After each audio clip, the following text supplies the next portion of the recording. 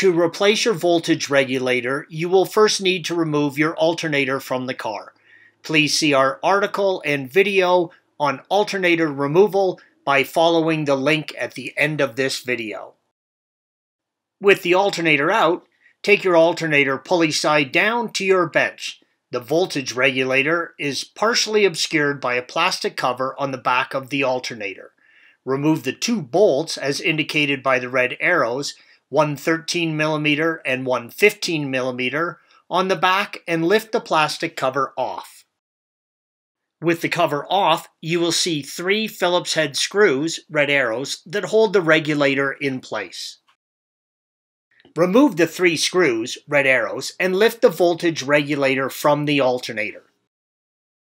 You can now see the two brushes, yellow arrows, that make contact with the poles on the alternator. These are held in place against the poles by springs that can wear out. The brushes can also wear out or become excessively corroded over time. While the regulator is out, make sure you check the condition of the poles, yellow arrow, on the alternator. They can be discolored but should not be excessively worn, corroded, and should not have grooves worn in them. Installation is the reverse of removal. Thanks for watching. Click here to view the original article along with hundreds of other DIY content for your car.